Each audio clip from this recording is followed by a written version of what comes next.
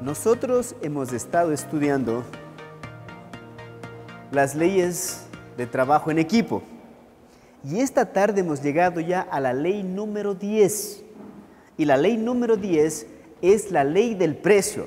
Dice, el equipo que no logra su potencial, el equipo no logra su potencial cuando no paga el precio.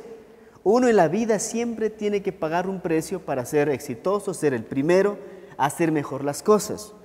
Si usted quiere pasar el año en la universidad, en el colegio, tiene que pagar un precio. En la vida nada es de gratis. Uno tiene que ganarse el derecho a estar donde está. Entonces, vamos a ver nosotros en el texto del libro de números qué pasa cuando de repente el equipo no está dispuesto a pagar el precio, cuando el equipo no quiere hacer lo que tiene que hacer. Hay una clara evolución en el pasaje que muestra los pasos por los que atraviesa un equipo cuando no paga el precio necesario para progresar. Hay gente que no quiere pagar el precio realmente, que no quiere hacer lo que tiene que hacer. Y vamos a ver la anatomía de una oportunidad desperdiciada. Hay mucha gente que desperdicia las oportunidades a lo largo de su vida. Oportunidades de ser mejores, oportunidades de un trabajo, oportunidades de ir a un retiro, oportunidades de un taller, por lo general la gente siempre termina desperdiciando las oportunidades. Los israelitas pasaron 40 años en el desierto debido a que no quisieron pagar el precio para llegar a la tierra prometida. Imagínense, Dios les dice, al otro lado de este río hay un lugar hermoso para ustedes, pero ellos no quisieron cruzar el río porque no quisieron pagar el precio de cruzarlo, porque cruzar significaba pagar un precio. Entonces, dice, ¿Por qué los equipos no pagan el precio? Por la información insuficiente. ¿Qué significa eso? Que no tienes toda la información para hacer una actividad. Si una persona no tiene toda la información para arreglar su vida, su vida va a ser una tontería. Y a veces nosotros pensamos que sabemos mucho, pero si les pregunto algo, probablemente no saben nada. De la vida no sabemos nada, ¿no? Entonces, ¿qué es la información insuficiente? Dice números 13, 18 y observad la tierra como es, Moisés está enviando, y el pueblo que habita, si es fuerte o débil, si poco o numerosos, cómo es la tierra habitada, si es buena o mala, y cómo son las ciudades habitadas, si son campamentos o plazas fortificadas, y cómo es el terreno, si es fértil o estéril, si hay árboles o no, esforzaos y tomad el fruto del país, y era el tiempo de las primeras uvas. Moisés dice, vayan y vean todos los detalles de la tierra donde vamos a ir a vivir. Es como si su papá dijera, quiero que vayas y vengas investigando cómo es Gualaceo. Si hay agua pura, si venden Coca-Cola, si hay una tienda de hamburguesas, si hay una iglesia, averigüen todo porque nos vamos a ir a vivir allá.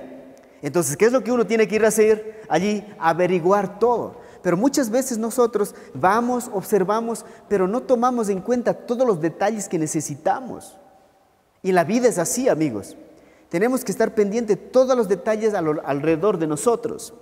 Moisés mandó dos espías para explorar la tierra prometida y se debe explorar toda oportunidad. No se puede hacer por hacer las cosas. Escuche bien, el equipo no puede aprovechar una oportunidad hasta evaluar su alcance, hasta tener toda la información. La pregunta es, ¿tienen ustedes toda la información para ser líderes realmente? ¿Les falta algo todavía? ¿Les faltará en el futuro más información? Usted no puede hacer mucho sin información. Usted póngale a hablar a alguien de liderazgo. Si nunca ha leído un libro de liderazgo, ¿qué va a pasar? Va a quedar aquí, el liderazgo es... Es como das la lección en la universidad, ¿no? Parece idiota y el colegio también te mandan sacando. No sabe nada, ¿no? Es la información, es súper importante. Entonces, la clave para explorar la oportunidad yace en los miembros que han sido escogidos, porque hoy día escogieron, para ver hacia el futuro y solucionar un problema. Número uno, que necesitamos? Información correcta. Número dos, evaluación. Dice números 13, 25. Y volvieron de reconocer la tierra al fin de 40 días, y anduvieron y vinieron a Moisés y a Aarón y a toda la congregación de los hijos de Israel en el desierto de Parán, en Cades, y dieron la información a ellos y a toda la congregación y les mostraron el fruto de la tierra y les contaron diciendo, nosotros llegamos a la tierra a la cual nos enviaste, la que ciertamente fluye en leche y miel, y este es el fruto de ello. Trajeron, dijeron, esa tierra es buena. Pero mira lo que pasa después. Mas el pueblo que había en aquella tierra es fuerte y las ciudades muy grandes. fortificadas. Y también vimos allí a los hijos de Anac, Amalek, habita el Negev y el Eteo, el Jebuseo y el Amorreo. Habitan en el monte y el cananeo habita junto al mar y a la ribera del Jordán. Entonces Caleb hizo callar al pueblo delante de Moisés y dijo, subamos luego y tomemos posesión de ella, porque más podremos nosotros que ellos. Diez espías dicen, la tierra es linda, pero hay un problema. La gente que vive allá son muy grandes. Ellos son como gigantes. Y yo creo que nosotros no podemos ir contra ellos, porque ellos nos pueden ganar. Escuche bien, la evaluación del desafío se basa en la actitud y la fe del equipo. La actitud es muy importante a la hora de desarrollar un trabajo, de alcanzar una meta, de terminar la universidad, de hacer algo por este mundo, es la actitud. Mire lo que dice, mientras las personas positivas ven el potencial, las personas negativas ven los problemas. Y hay mucha gente que vivimos viendo más que cosa, los problemas. Y cuando vemos el problema es, ah, es que 30 dólares es mucho dinero, ¿no? Ya le vemos como un problema, no como un desafío, ¿no? ¿Y cuántos de nosotros vemos así las cosas en la vida también? Hay un examen y ¿qué decimos? Qué difícil es este examen, ¿no? Pero el momento que usted aprende a ver no como un problema, sino como un desafío, le aseguro que usted tendrá una vida diferente a la que tiene ahora. Entonces la pregunta es, ¿qué ve usted en medio de las circunstancias difíciles? Dice, el propósito es recibir una evaluación precisa y objetiva de la situación. Y Caleb y Josué hicieron una evaluación correcta, pero carecían de la influencia necesaria para mover la nación hacia la victoria. Cuidado líderes, ustedes fueron elegidos y eligieron su gente. La pregunta es, ¿tendrán la influencia sobre su equipo? ¿Podrán ustedes realmente dirigirlos a ellos de tal manera que ellos hagan lo que ustedes dicen que van a hacer? Es el desafío del líder es tener la influencia para que mi equipo haga lo que yo digo que se debe hacer. Eso es importante. Entonces, me escuche bien, el error de Moisés fue elegir a los espías basándose en su posición familiar en vez de su habilidad y carácter. Y muchos de nosotros elegimos a nuestro equipo porque es mi pana, porque es mi vecino, porque es de mi clase social, porque yo creo que Él es bueno.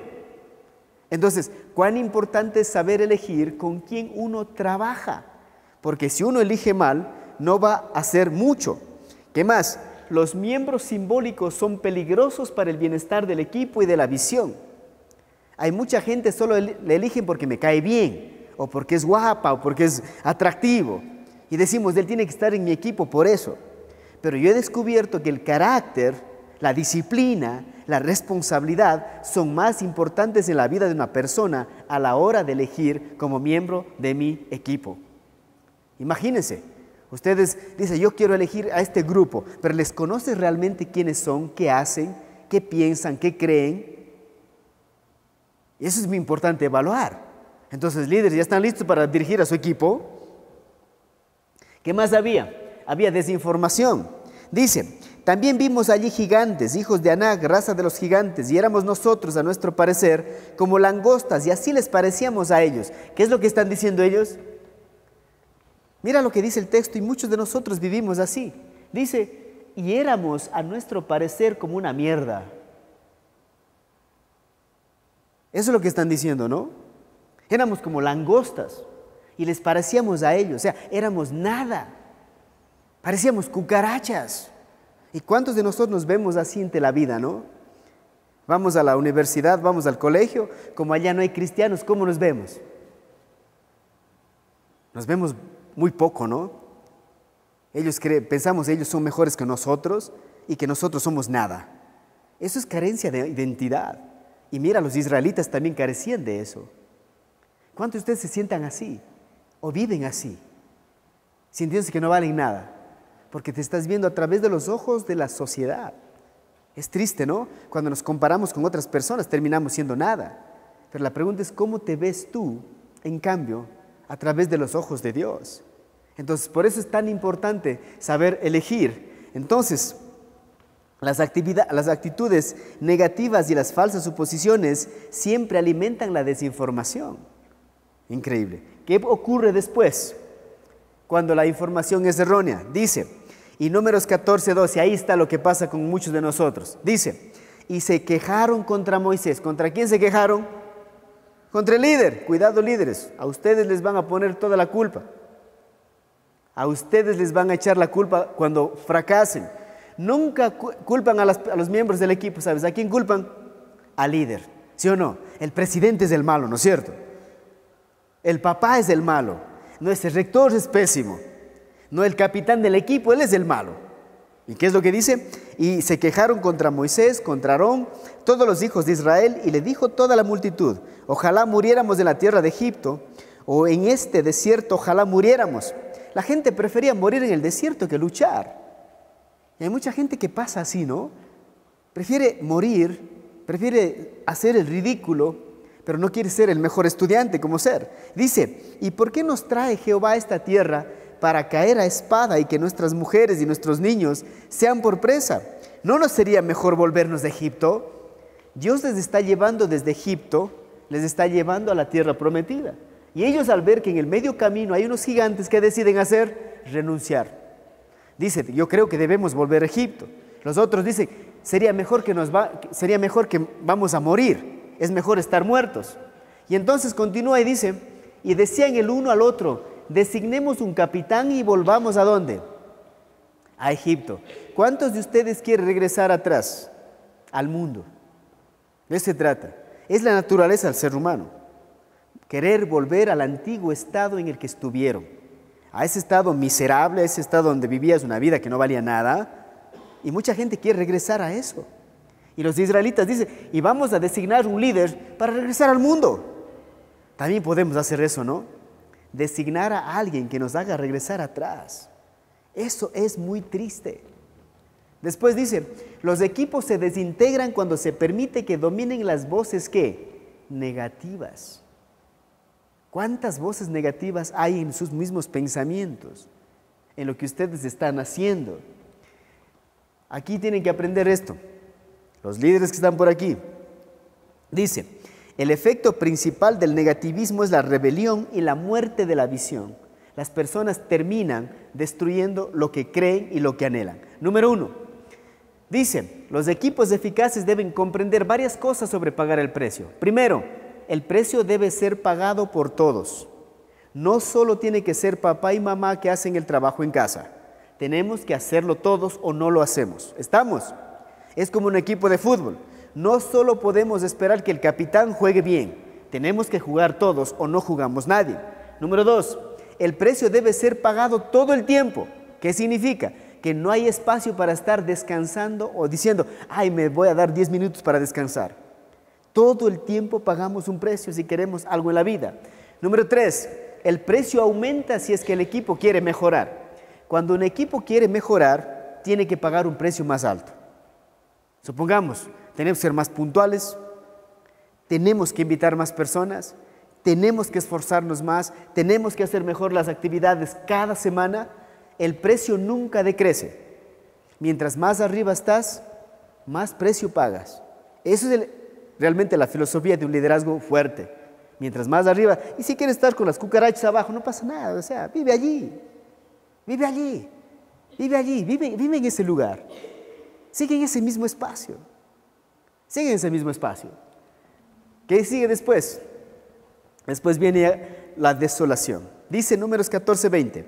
Entonces Jehová dijo, yo lo he perdonado conforme a tu dicho, mas tan ciertamente como vivo yo y mi gloria llena toda la tierra, todos los que vieron mi gloria y mis señales que he hecho en Egipto y en el desierto, y me han tentado ya diez veces y no han oído mi voz. ¿Cuántas veces le han jodido a Dios?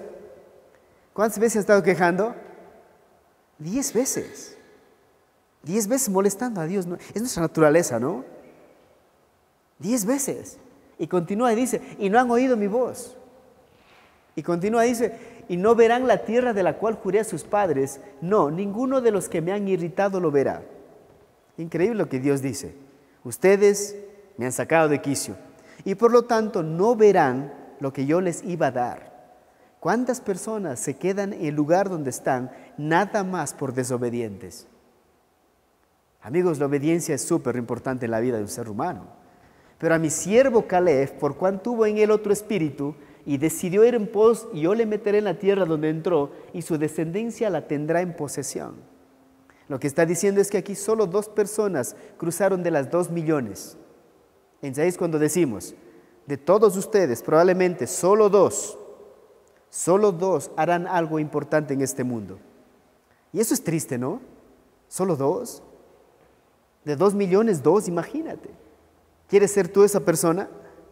¿Quieres ser tú ese joven, esa joven que hace la diferencia? De todos dos. ¿Por qué? Porque ellos decidieron creer a Dios. Conclusión. Dice, lo que se requiere de un equipo eficaz es qué cosa? Sacrificio. Yo les hago una pregunta. ¿Alguna vez ustedes han dado algo realmente que les cuesta? que no querían dar porque era algo bien de ustedes, supongamos que regalaron su mejor juguete a alguien, regalaron su ropa que era lo más querido, preciado que tenían, lo han hecho, o algo que ustedes querían mucho, le dieron a alguien que sí necesitaba, eso es sacrificio. A veces muchas personas hacemos nada más lo que tenemos que hacer, pero realmente no estamos sacrificando nada. El sacrificio hace que las cosas sean diferentes. Compromiso de tiempo. ¿Qué significa el compromiso de tiempo? Nosotros tenemos un compromiso de tiempo de dos horas todos los sábados, ¿sí o no? Pero no son dos horas, probablemente son cuatro. De venir de tu casa hasta acá y después de terminar aquí a ir a tu casa. El compromiso de tiempo. Y la pregunta es, ¿por cuánto tiempo ustedes estarán en este grupo? Porque hay gente que dice, no, yo me voy solo una semana o dos semanas nomás, no quiero ir más. Es que ya me aburrí, ya me cansé. Pero escuchen bien, en el liderazgo uno hace un compromiso de tiempo. A veces le dura toda la vida. A veces le dura toda la vida. Y ustedes se ponen a pensar, ¿sí? ¿Toda la vida? La respuesta es que sí. Nos puede tomar toda la vida ser el hombre o la mujer que queremos ser. Toda la vida. Después, desarrollo personal. Esa palabrita no le gusta a mucha gente porque el desarrollo personal significa que yo tengo que invertir tiempo, dinero, tengo que dejar de hacer ciertas cosas que me gustan para hacer las cosas que son correctas. Entonces, la pregunta que tengo es, ¿cuántos de ustedes realmente se han puesto a trabajar en desarrollarse como seres humanos? El día de ayer estuvimos en la radio y hablamos acerca de lo que significaba el desarrollo personal, cómo funciona eso, porque ustedes están aquí también para eso, cómo funciona eso del desarrollo personal. Y para el desarrollo personal, usted necesita trabajar en cuatro áreas importantes de su vida. Número uno, lo que pienso. Somos lo que pensamos, queramos o no aceptarlo. Y por eso San Pablo dice, cambia tu manera de pensar para que cambie tu manera de vivir la forma mediocre que piensas, te tienes sentado en el lugar que estás haciendo lo que haces. Simple. Eso es, eso es muy claro. Entonces, hablando del desarrollo personal, significa que tiene que haber cuatro áreas de nuestra vida que deben ser cambiadas de lo que pienso. A veces solo pensamos emocionalmente, otros piensan lógicamente, algunos piensan, a veces piensan de una manera mágica. Dicen, ah, bueno, es que yo pienso que esto se va a solucionar. Amigos, pensando que se va a solucionar, las cosas no se solucionan. ¿Estamos? Después, número uno, lo que piensas. Después, número dos, lo que sientes. Y hablamos de ahí de inteligencia emocional. ¿Y cuáles son las cuatro emociones básicas dentro de la inteligencia emocional? Primero es la tristeza, lo que nos causa tristeza. Después viene la ira, ¿no? Lo que nos causa ira. Hay cosas que nos causa mucha ira, ¿no? Después nos causa miedo. ¿Y qué cosas les causa miedo a ustedes? Y ahí está la alegría también.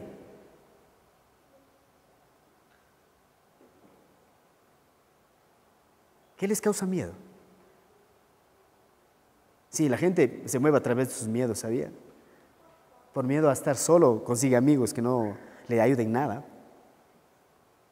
Por miedo a veces la gente se aísla, viven solos. Sí, por miedo. La gente va a estudiar por miedo. Porque si no estudio, entonces no voy a ser nadie en la vida, ¿no? Y tenemos que aprender a gestionar nuestras emociones. Y lo, interesante de la inteligencia emocional es, muchachos, El éxito de sus vidas depende el 77% de cómo ustedes manejen sus emociones. El éxito es 77%. El 23% lo que tienes en tu sistema cognitivo. ¿Qué más? Lo que piensas, lo que sientes. ¿Qué más? Lo que haces. ¿Cómo es eso? ¿Cuán importante es lo que haces? Porque hay mucha gente que piensa y siente pero que no hace nada. Tiene que ser el papá, la mamá empujándoles para que hagan los deberes, empujándole para que vayan a clases, empujándole para que lean un libro. Imagínese, imagina esa persona en el futuro que de repente se casa con alguien y la pobre mujer tenga que decir, hoy anda a trabajar, hoy haz esto, hoy ayuda con los niños. Se trata de pensar, sentir, se trata también de qué? De hacer. Y después la energía con lo que cuentas, o sea, ¿de dónde, de dónde viene todo lo que yo necesito para poder hacer las cosas con todas las fuerzas. Entonces, ¿qué más? El desarrollo personal es importante para todos aquellos que quieran cambiar el mundo. La falta de egoísmo. Hay mucha gente que es súper egoísta, o sea, solo viven para ellos mismos. Si yo no me siento bien, entonces este grupo está mal, ¿no? Si yo no gano, este grupo es lo peor del mundo. El egoísmo ha destruido muchos equipos. ¿Cómo les llamamos a eso nosotros en el fútbol? Los llamamos individualistas, ¿no es cierto? Les llamamos individualistas. Pónganse de pie. ¿Pagamos el precio o pagamos el precio? Y si no pagamos el precio, estamos fregados. Mejor no vengas. ¿Estamos? ¿Se acuerdan de, la, de, de uno de los trabajos en equipo? Que habíamos que decir a alguien que ya deje de venir. Y voy a comenzar a hacer eso. Señor, te damos muchas gracias por esta tarde. Bendice a estos muchachos y la actividad que viene adelante. Amén.